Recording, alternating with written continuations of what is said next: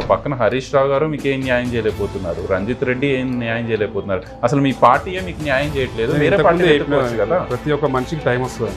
మాకు టైం వస్తుంది. మా ఇంటి దేవుడు రంజిత్ రెడ్డి. ఉద్యమకారులమని చెప్పుకుంటున్న కొంతమంది వ్యక్తులు. ఎవరైనా మూడు ఫ్లోర్లు నాలుగు ఫ్లోర్లు వేస్తే ఏంటి మరి మాకేం లేదా?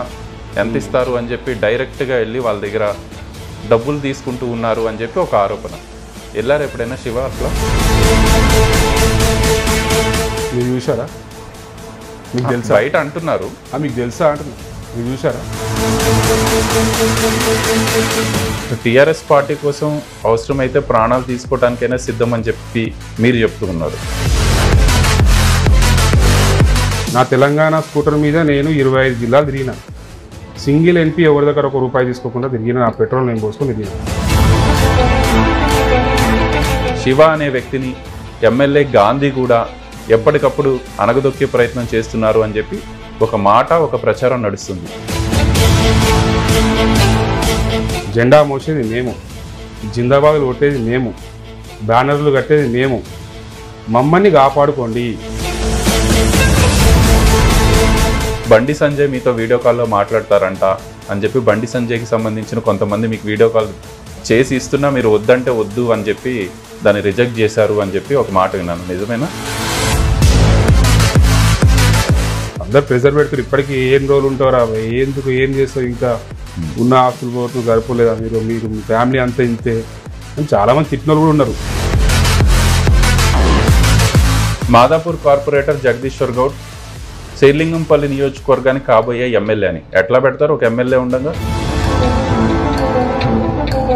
అభిమాన్ అండి ఫ్యూచర్ అని పెట్టినాను చూడలేదా? ఇప్పుడు కాదు కదా.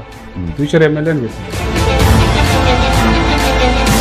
మీ నాన్నగారికి ఆరోగ్యం బాగోలేకపోతే మీ ఎమ్మెల్యే గాంధీ చివరికి పట్టించుకునే పరిస్థితి లేదు అప్పుడు పట్టించుకోలేదు ఆయన దృష్టికి వెళ్ళినా అని చెప్పి ఒక మాట నేను నాకు బయట ఒకరు చెప్పారు. వాస్తవమేనా?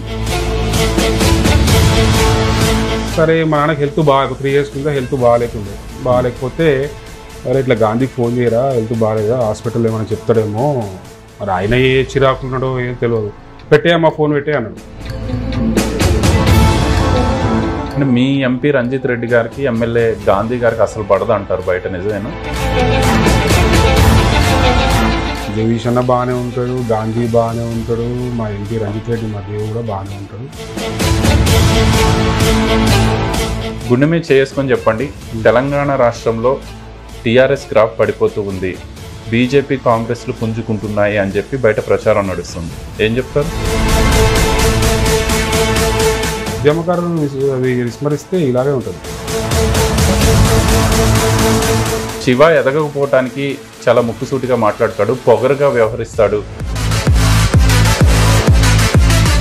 ఉన్నది ఉన్నట్టు మాట్లాడితే ఎవరికైనా కోపం వస్తుంది. నీకు రాదా?